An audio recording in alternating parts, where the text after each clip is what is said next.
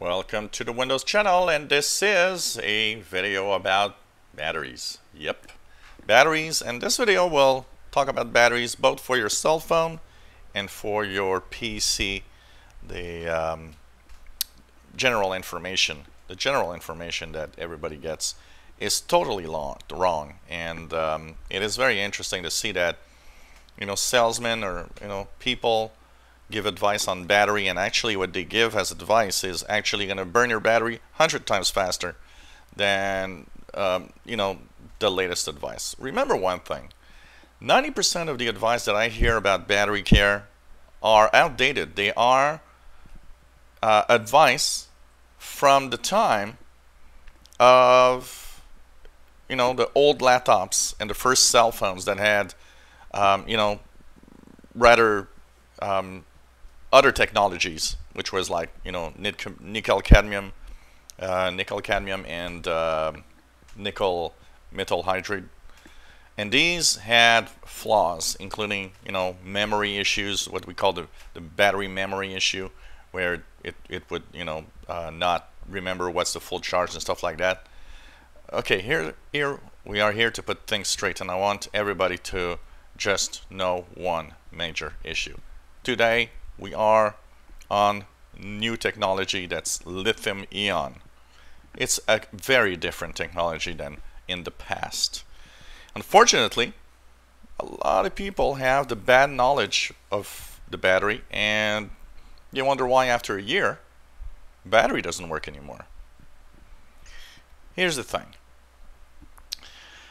The batteries we have today, lithium ion, first of all, do not have memory issues. That means they you don't have to discharge them totally before you recharge them. That is an extremely bad habit on all the batteries.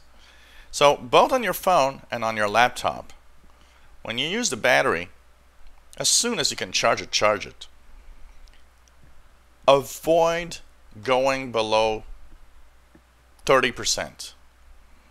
The more you go below 30%, the more your battery is going to have problems, um, you know, really quickly in charging because what today's batteries have as a problem is that deep discharges up to close to 0% and recharging them to 100% is extremely hard on lithium ion batteries. These batteries are not made for that. They are made for, we use it a little bit, oh, okay, I can plug in, plug in and you can charge a lithium ion battery anytime. And I mean anytime. It doesn't matter if you just use 10% plug it and recharge it. Keep it as close 100% or at 100% it's okay. And the thing is these lithium ion batteries have a certain number of cycles that we call. Now one cycle is when your battery drains to almost zero and then recharges completely is one cycle. But if you discharge your battery at 50%, you've only done half a cycle. That means you would do two drops to 50% and up to 100% would give you a one cycle. So you want to recharge them anytime you can. That's the first thing the things that these batteries ate is deep discharges. Don't let it go to 20 or 10%. You're really breaking your battery. You're really uh, creating problems with the battery if you go always below 20% or 30% before you charge it again. The other bad advice that a lot of people get is, oh, well, you shouldn't, um, you know, keep your laptop or your phone ch charged when it's 100%. You're going to burn the battery. Totally false. Once again, this is information that comes from old times when the batteries would, yes, keep charging even at 100%.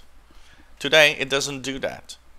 Today, if you use your laptop plugged in all the time, it's okay. It doesn't matter. It doesn't matter. It doesn't continue charging at 100%. These batteries stop charging completely. They have a chip that actually is a intelligent charger. it detects that the battery is fully charged, it just stops the current. So you're not burning the battery because it's plugged in all the time. Same thing for your phone. You know, when you charge your phone at night, I, a friend of mine was saying, oh, well, you know, I, I unplug it because I don't want it to be 100% all night. It's going to overcharge the battery. And the first thing I said is, no, it doesn't. When your phone's at 100%, it's 100%. It stops charging your battery. And you can leave it plugged in all night to make sure that, you know, it doesn't use the battery and you've got a full 100% in the morning. So, you know, lots of bad information. So make sure you don't deep discharge it. Try not to go below 30%. And you know what? If you use your battery from time to time, make sure that, you know, as soon as you can charge it, charge it. That's how my batteries on my laptops actually last years um, because I take proper care. So do as little deep discharges as possible, first of all. Then it doesn't matter if you keep your, your cell or your laptop plugged in all the time at all. Don't worry about it. One thing that is a problem um, in hot summer days, if it's a very, very hot environment, it's usually less uh, interesting to charge your battery because heat is the enemy of lithium ion batteries. And in a hot summer day, it, of course, the battery when it charges already heats up by itself. It eats up even more in hot summer days. So that can also damage the battery a little faster if you can, you know, have it charged when it's cooler or in a cooler environment. It's always, you know, better. But of course, we can't always do that. Um, if you decide to store a battery, lithium-ion batteries have one uh, flaw when they are stored for a very long period of time. It's better to lower the battery. So use your battery. Say you're going to remove the battery off your laptop.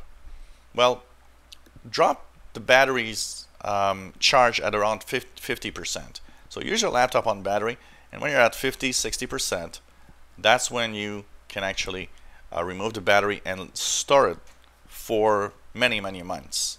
It's better to store a lithium-ion batteries about half full rather than fully charged, um, as it can create some problems and refuse to charge correctly afterwards.